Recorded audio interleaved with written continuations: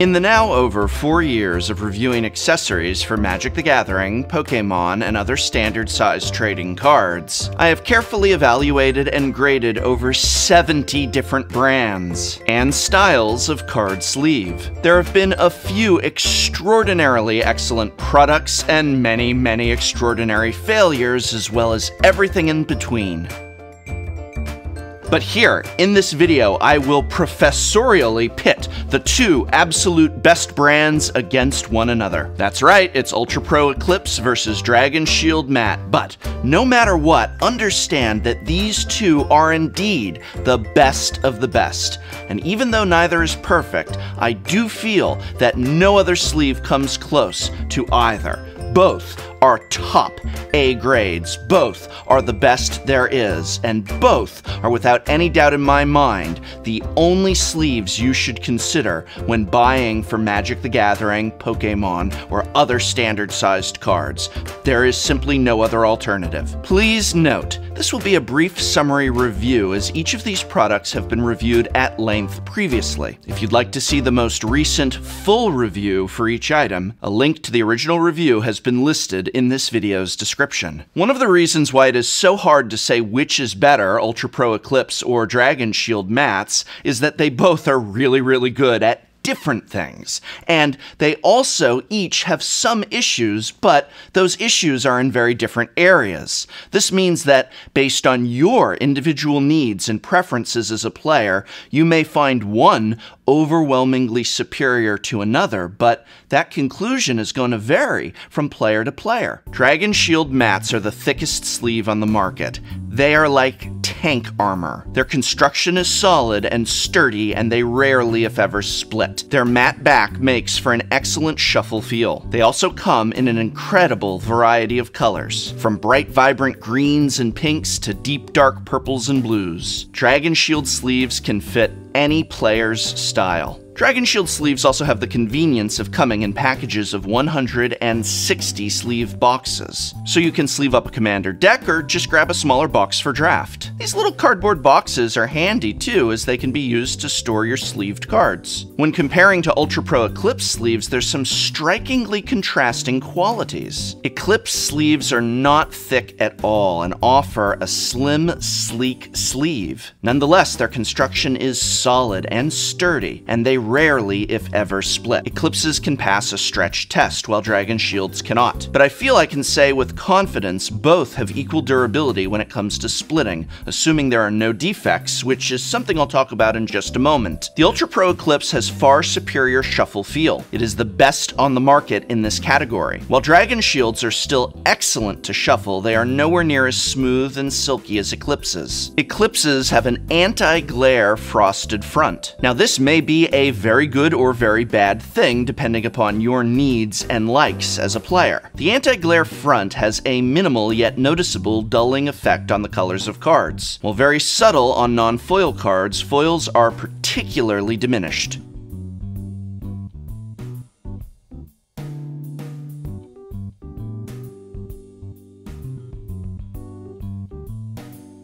And thus, any player who has a lot of foil bling blang will find eclipses to most, most certainly not, be their thang. However, those who do not like the reflective glare that sleeves such as Dragon Shields give off will find the eclipses easy on their eyes and potential headaches. Finally, for double sleeving, Eclipses are far superior to Dragon Shields. While you can indeed double sleeve with Dragon Shields, the tightness of the sleeves means the process is slow, and sometimes multiple attempts need to be made in order to correct for the inner sleeve slightly being pulled off the card. Eclipses sleeve up fast and easy, whether you are using KMC inner sleeves or Dragon Shield inners. Both sleeves are manufactured in countries which follow fair labor and safety laws. Dragon Shields are made in Denmark and Eclipse sleeves are made in the USA, a plus for both brands. So now we reach the most important part of this video, the things each sleeve does not do so well.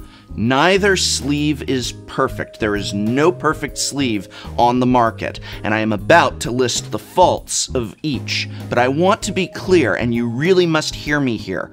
I consider these both to be A quality sleeves, the best of the best, and essentially tied in terms of overall grade. What I am about to list are indeed faults, but that does not mean that the sleeve itself is not excellent at different things, and as you are about to see, not so great at different things. Let's begin with the Dragon Shield faults. Dragon Shield sleeves are not fully opaque. This means that you can see through the backs of the sleeves to a certain degree, and thus this is unacceptable in many levels of tournament play. This may not seem like a big deal to many, and perhaps for you it is no problem at all, but being able to see through the sleeve, and therefore see the card back and know whether or not you're about to draw a transform card, or that particularly scratched or scuffed older card in your deck, well, that's unacceptable unacceptable enough to warrant getting a game loss in most events. Something I have heard happen to many, many Magic the Gathering players that use Dragon Shield sleeves over the years. Ask Wedge of the Mana Source what happened to him when he used pink Dragon Shields at a GP once. It did not end well. Now, Dragon Shield makes a smoke inner sleeve that combats this problem. The smoke inners will allow a deck double sleeved using them in conjunction with Dragon Shield outers to essentially be fully opaque. However, most tournament grinders don't double sleeve, and I don't consider this an ideal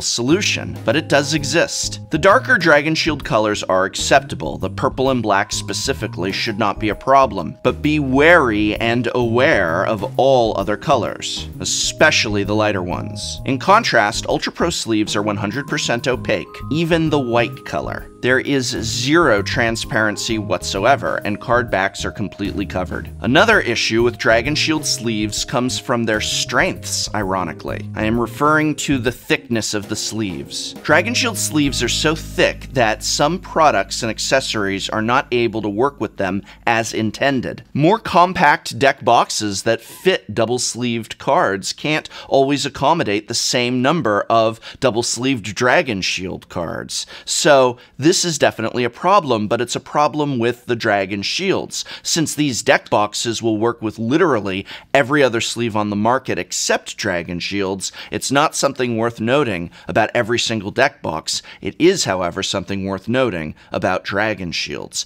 Be wary of that extreme thickness in terms of the sleeve. The only other issue with Dragon Shield sleeves are the sharp corners. This has been greatly negated in new versions, but there is still a remaining vestige of it. These overly pointed pointed corners of dragon shields can lead to scraping on playmats and just detracting from the shuffle experience. And none of these problems exist whatsoever with Ultra Pro Eclipse sleeves. However, other problems do. The biggest and most significant problem with Eclipse sleeves is that of quality assurance. Remember when I said earlier that the sleeves do not split if they have been made correctly? Well, therein lies the trick, as Eclipses have certainly been hit with a series of QA problems since their second major printing following my initial review of them. Corners could too easily become bent, and splits occurred in these problem batches. Now, currently, Ultra Pro has overwhelmingly addressed these issues, and the new sleeves coming off the line do not appear to suffer from them.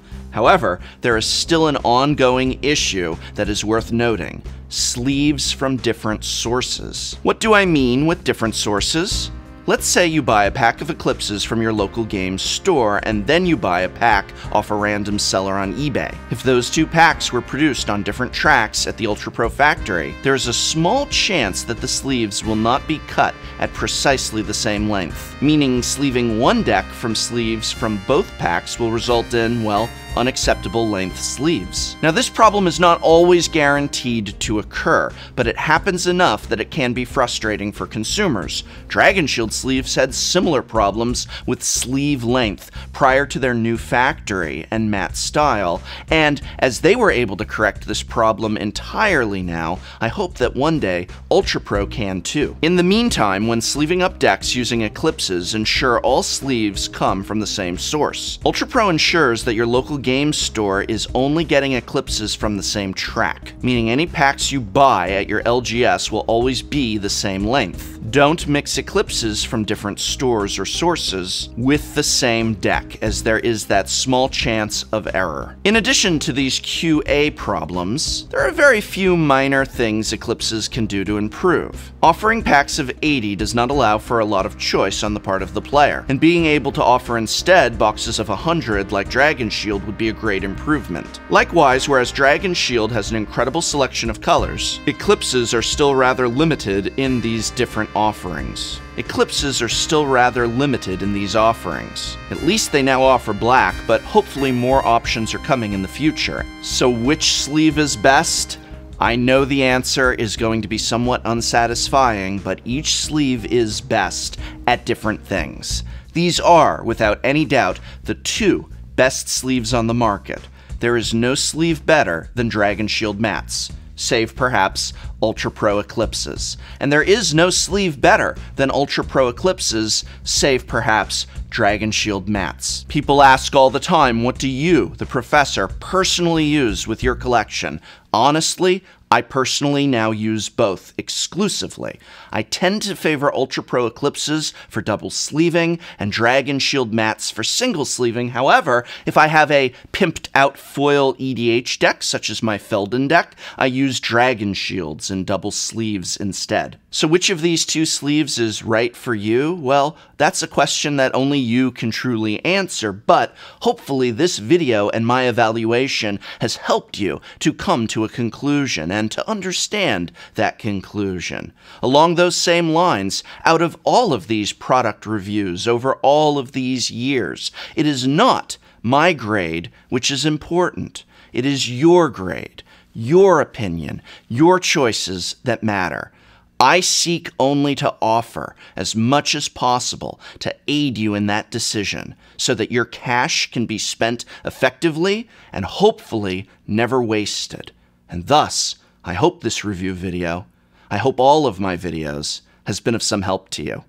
Thank you. And this video is brought to you by my and many other people's local game store, Card Kingdom, a brick and mortar pillar of this community, as well as the Patreon support of viewers such as you. These are the people that keep Tolarian Community College going and growing strong. So thank you.